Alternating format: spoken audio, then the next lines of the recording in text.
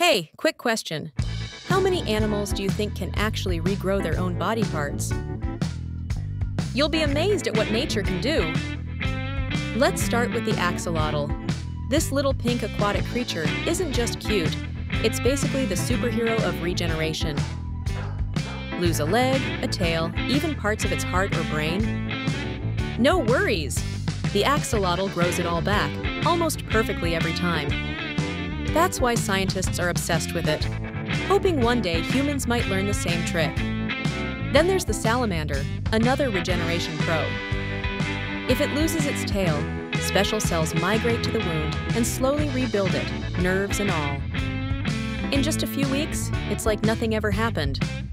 Next up, the Mexican tetra.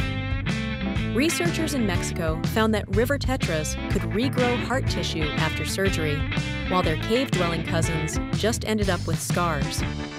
Fascinating, right? Now meet the starfish. Lose an arm, it simply grows a new one. Some species can even rebuild their entire bodies from just a single limb. It's like pressing reset on themselves. And finally, the sea cucumber, the drama queen of the ocean. If threatened, it literally throws out its own organs to distract predators, then regrows them within weeks. Nature's regeneration game is seriously next level. Hit like, share, and subscribe for more mind blowing wonders from the natural world.